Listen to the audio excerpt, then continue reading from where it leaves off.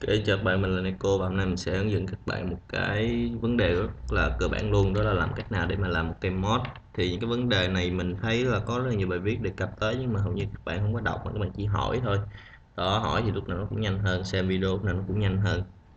Thì đây là một cái mod đây là cây Gumi mod của mình. Đó đây là cây Dr. Neko mà mình đã thay cái thân ờ, city của nó bằng cái thân embot đây là cây what the fuck. Đó cây what the fun đó thì mình sẽ hướng dẫn sơ qua cho bạn xem làm cách nào để mà làm một cái mod để bạn tự bạn sáng tạo riêng cho các bạn luôn mà không cần phải cần đến cái hướng dẫn cái tutorial nào. Đây là một cái thân. Đó đây là cái nguyên liệu mà mình sẽ rất là cần trong việc làm cái mod. Mod mà không có thân thì làm téo đi quay được. Đó đây là cái thân mình dùng đây là thân AC thân này các bạn có thể kiếm ra được ở bất kỳ một cái bot nào mà các bạn nhìn vào. À bạn thấy là ở à, đây là đây có thể sử dụng được nè. Đó, thì các bạn cứ lấy về mà sáng tạo ra một cái mod riêng mình nó hay là cái thân bút bi, bút lông màu, hoặc là bút chì, bút gì đó, thì các bạn cứ cảm thấy thì dùng được thì bạn cứ dùng thôi.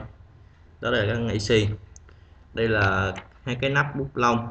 Đây là gọi là kháp kháp này thì nó có thể là một cái thứ khác, không phải là cái nắp bút, mà là một cái thân khác. Ví dụ như là làm iPad mod thì có thể cưa cái thân một cưa cái thân super tiếp ra thì gắn vào hai đầu để thay cho cáp luôn. Không cần thiết phải làm cái nắp.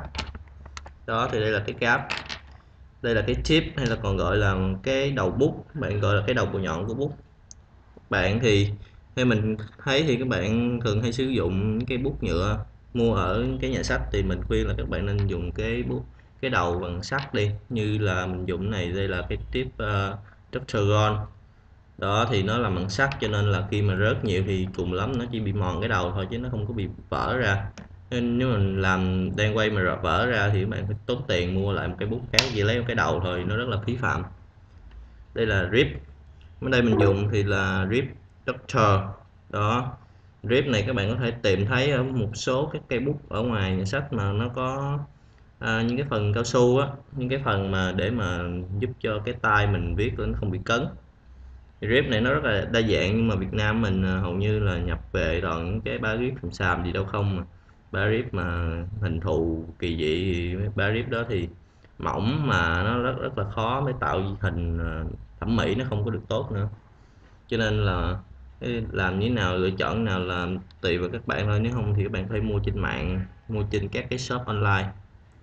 Đó, thì để tiếp đến đó là một cái một cái gọi là cái đồ nối đó thì khi mà các bạn lắp cái ờ, cái cái cáp này nó vào cái thân đó, thì không phải lúc nào nó cũng có thể mà lắp vừa được. Đây mình sẽ tìm cho các bạn xem một cái ví dụ về cái đồ nối trong mấy cây bút của mình. Đó ví dụ như là cái này. Cái này người ta gọi là cái um, backplug hay là gọi là cái đồ nối thì khi mà các bạn uh, lắp để mà nói giữa cái nắp này với cái thân này thì nếu mà như cái thân này thì nó không có cái chỗ nói nào để mà gáp vào hết thì bạn cần phải dùng cái này. Đó, thì nó sẽ nói lại nói lại dính chặt lại với nhau. Đó, thì cái này thì các bạn có thể dùng một cái đầu chụp của bút hoặc là một cây bút nào khác, một cây bút ờ, mực bạn cưa ra hoặc là cái bút chì. Bút chì bạn cắt ra bạn nói vào thì nó cũng sẽ nói hai thân lại với nhau. Dù như thân này thân này, dùng cái đầu nối và nói hai cái lại với nhau cũng được nếu mà không vừa bạn có thể quấn băng keo như mình đây. Đó này không vừa nè. Mình quấn băng keo lại. Đó, bạn có thể dùng băng keo à, mình khuyên là bạn nên dùng băng keo giấy. Đây, mình dùng băng keo giấy hoặc là băng keo trong. Keo trong thì nó nó hơi trơn, nên mình khuyên bạn nên dùng băng keo giấy đi. Chứ dùng băng keo đen thì cái bạn lột ra nó sẽ bị đóng lại những cái, nó dính dính, nó rất là dơ, mất mất rất là mất thẩm mỹ luôn. Đó, ví dụ như cây này là mình đã bị, mình đã bị ăn hành cây này. Đó, thì nó đóng đây không biết bạn có thấy được không nhưng mà nó hơi dính đen đen như này. Đó thì đây là hậu quả của việc chơi ngu. Đó là cái mình sẽ nói mình đã nói sơ qua về cái cách làm mod.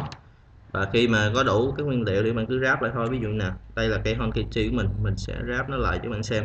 Mình gắn hai cái nắp lên hai phần đầu của nó. Đó thì mình sẽ nhồi cái nhét cái tiếp này vào trong cái uh, cái rip. Đó cái miếng cao su này nè nhét vào và lắp lên cái cáp thôi. Đó. Bởi vì cái ông hon này ông có một cái xì tay là ông gắn cái rip. Cái khúc này nó rất là nông, cho nên là mình sẽ làm theo ổng. Tại vì ừ, nguyên bản mà mình lấy nguyên mẫu mà, mình không có chế ra theo ý mình. Đó, thì đây là cây hon. Mình cứ ráp lại như thế này là nó ra thôi. Nguyên liệu thì có thể tìm ngoài nhà sách, hoặc là các bạn mua online gì đều được. Đó, thì mình đã hoàn thành xong một cái bài gọi là hướng dẫn nhanh một cái ờ, cách để làm một cây mod một cây uh, gọi là double cap hai đầu nó giống nhau. Còn cây ms thì mình không có quay nên là mình không có hướng dẫn các bạn. Mình không cũng không có nguyên liệu đây sẵn để mà mình ví dụ cho bạn xem. Đó. Thì nếu thấy hay thì có thể like giúp mình ủng hộ mình. Mình sẽ làm thêm nhiều video như này nữa.